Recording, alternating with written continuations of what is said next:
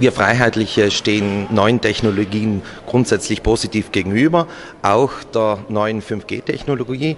Ähm, es ist aber natürlich auch wichtig, dass abgeklärt wird, welche Auswirkungen, welche gesundheitlichen Auswirkungen kann diese neue Technologie haben.